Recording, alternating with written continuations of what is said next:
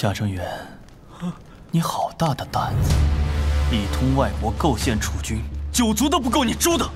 夏臣也是逼不得已啊。那碎星谷的歹徒以剧毒相逼，夏臣迫不得已才才毒。嗯。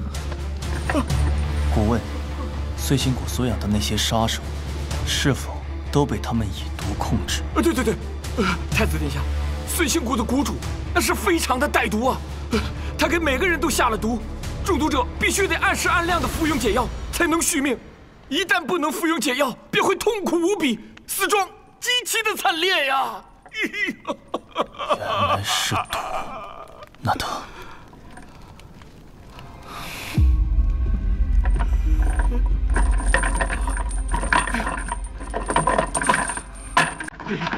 太子殿下仁慈，多谢太子殿下饶了下臣呐！大日加斯虽然罪该万死，但是法不责外，郭也答应他。给东瀛国一个交代。你的罪虽然万死不辞，但倘若因为是杀死大日加斯而自残于国民之前，那也是死得其所。你说对不对？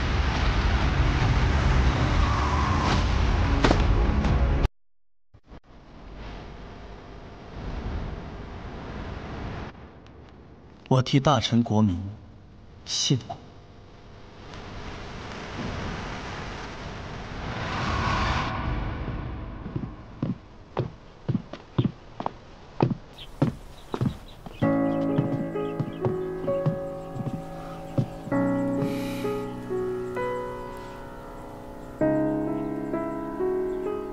阿月，阿月，你睡了吗？殿下，妾身正在反思，没脸见人。您还是请先回吧。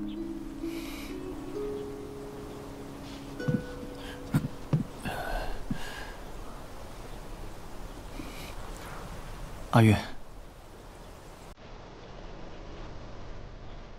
外头有些冷，我……那是妾身不懂事了，我这就去偏殿，把这里让给殿下。你不用动。好好休息。殿下，陛下急召。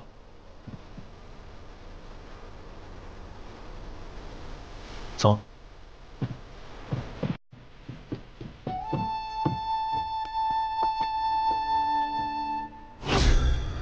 这是你最爱吃的桂花糕，姑姑特意给你做的。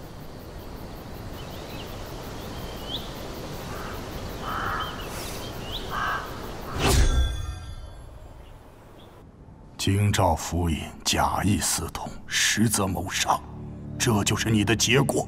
是，他东影国认可你这个结果，这便是事实。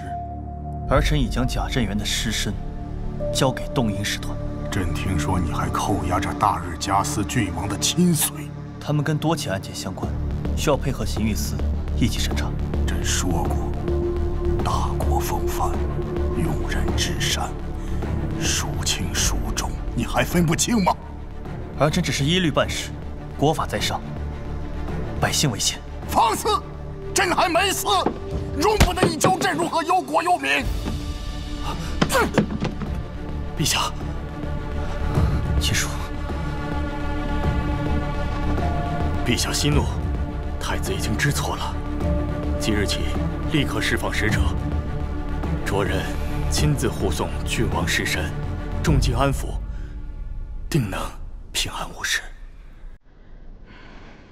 两国之事，自是体大。你赤夺虎符，闭门思过去。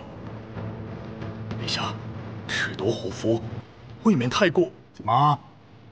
倒还由着他再领兵去战东瀛国？东瀛野蛮好战，边境民苦，儿臣也不想烽火不止。但若祸及臣民，儿臣不得不战。父皇，你一直赐婚急诏，对此事却一再退让，恕儿臣愚钝，无法揣摩圣心。冒进之言，不如你来做这个皇帝。少说两句，儿臣廉耻，认罚。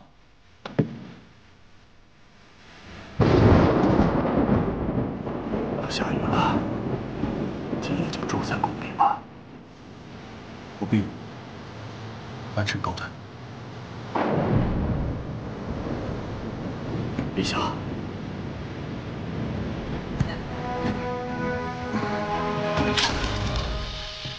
陛下，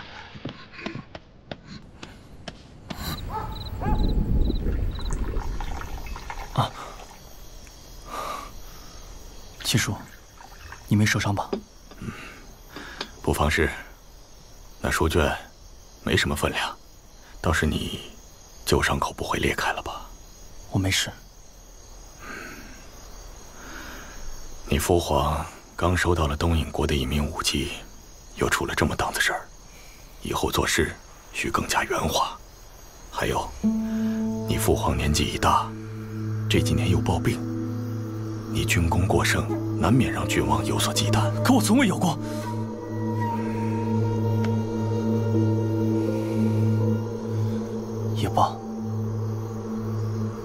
他也从未真正的信任过我。刚刚陛下已经松口，你为何不澄清留下？这或许是一个缓和的机会啊。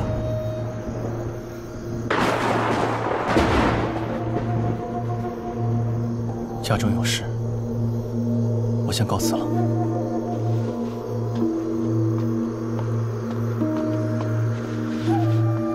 上位者。动情则有软肋，殿下，对付你，月剑就是最好用的那把利刃。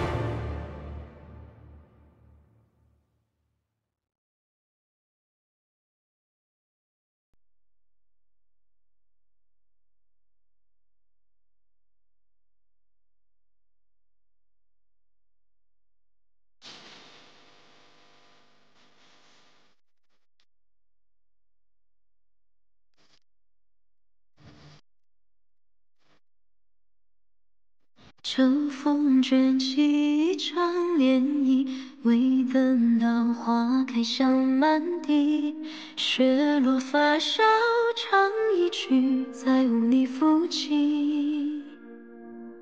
忆过往未曾落一滴，叹众生万般皆是谜，求不得此生与你缘起镜花影。怎奈一往情深，留我一身伤痕。难言一场爱恨，一把留恋，沦为故人。几番烛影让人心若玉 lum 风断夜深。荒凉一梦在枕边，教我一不根。问春何苦匆匆于无声的心上人？韶华悠